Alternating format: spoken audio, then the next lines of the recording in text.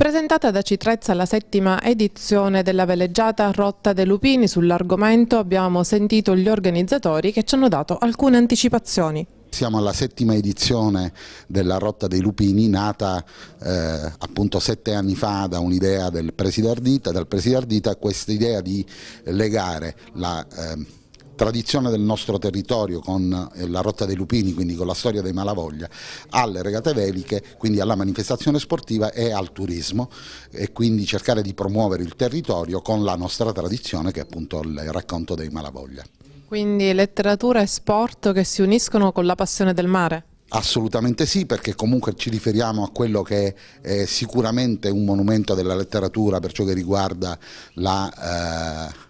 il mare, per ciò che riguarda la tradizione della pesca, il mare con il suo essere da un lato speranza, da un lato vita, dal lato morte e tragedia come per i Malavoglia. Ecco, quali saranno i momenti più importanti di questo evento? Allora sicuramente eh, i momenti, quest'anno si svilupperà in due giornate, normalmente negli altri anni eh, c'è stata la manifestazione la domenica con la partenza dietro l'isola eh, Lachea, quindi già con una cornice particolare e l'arrivo a riposto, passando quindi attraverso tutta la timpa di Aci e sicuramente uno dei, eh, dei posti più spettacolari che abbiamo per chi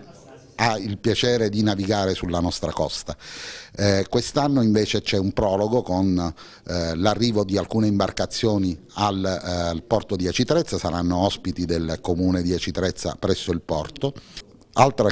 particolarità di quest'anno è che tra eh, chi ci sta accompagnando in questo progetto abbiamo l'autorità portuale di Catania che è un segnale forte per ciò che riguarda la vicinanza dell'autorità portuale ai circoli eh, di, di, di, porto e soprattutto ai circoli velici catanesi, tant'è che vuole premiare il circolo che meglio rappresenterà il porto di Catania. Qual è il rapporto tra l'area eh, portuale di Catania e le associazioni di porto, i circoli di porto? Ma sicuramente è un grande legame culturale e di grande amore per il mare e quindi per la portualità. E I circoli, i circoli nostri sono, fanno parte della nostra comunità portuale che è una grande comunità perché non ci occupiamo solo di container o di navi da crociera ma chiaramente il diporto è uno degli elementi più importanti che noi